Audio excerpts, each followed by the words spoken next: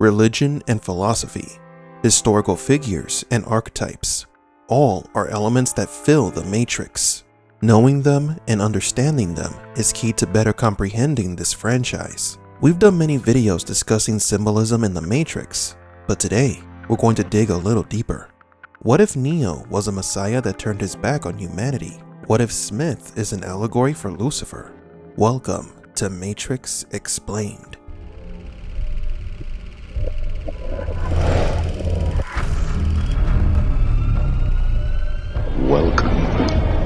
Desert of the real. We would like to announce our new giveaway. Many of you really wanted a copy of the Matrix Comics 20th Anniversary Collection, so we will be once again giving away a free copy of this graphic novel with a poster of the original 1999 Matrix film. For your chance to win, subscribe to this channel, leave a like on this video, and leave in the comment section below which character would you like to see return in Matrix 4 and why. The winner will be announced on October 10th. Thomas Anderson is the protagonist who fills the messianic role in the story. This makes Neo a character heavily symbolized by Judeo-Christianity.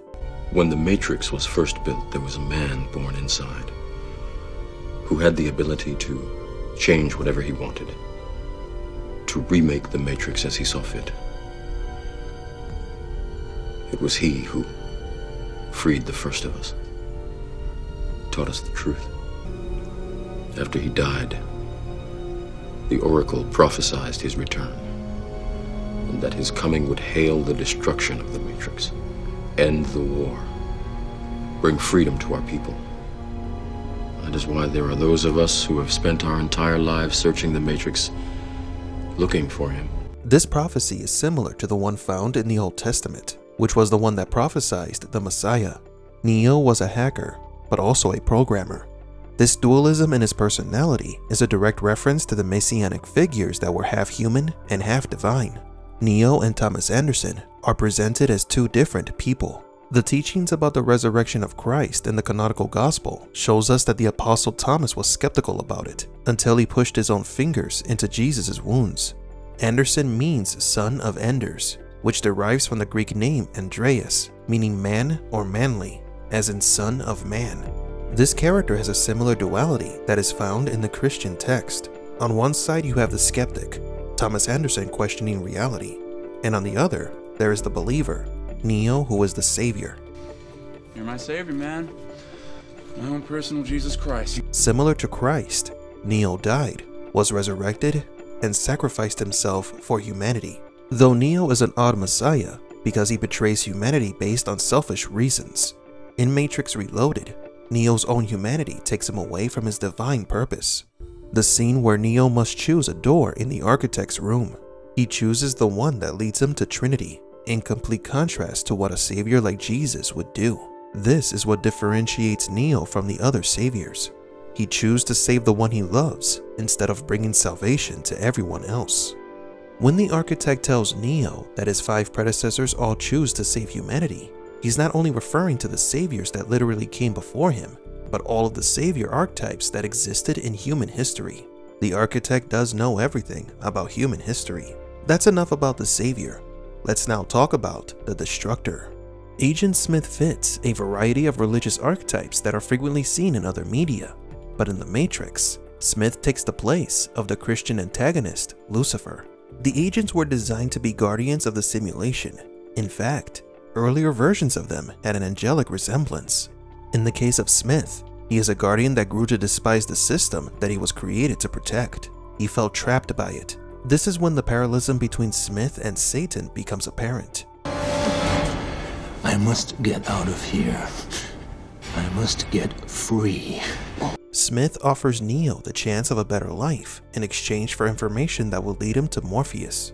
This is the first time Smith took on the role of the adversary as he tried to tempt the One, the same way Jesus was tempted by Satan in the desert.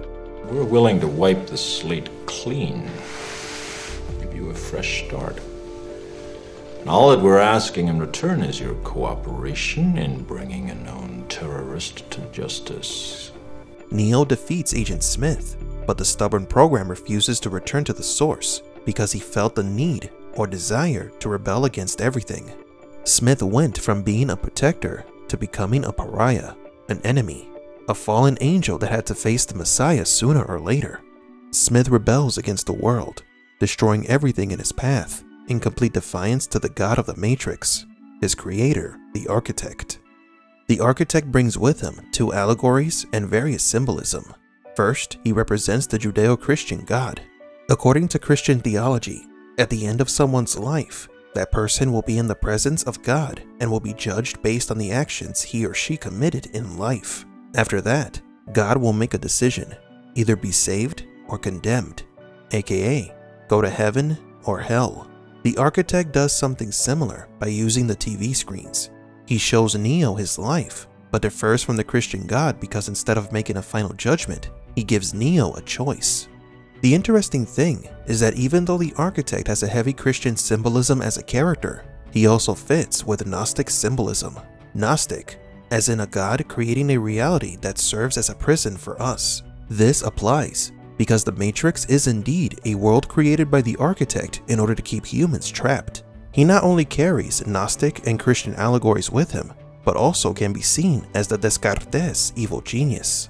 Descartes imagines that an evil demon of utmost power and cunning has employed all his energies in order to deceive me. This evil demon is imagined to present a complete illusion of an external world, so that Descartes can say, I shall think that the sky, the air, the earth, colors, shapes, sounds, and all external things are merely the delusions of dreams which he has devised to ensnare my judgment.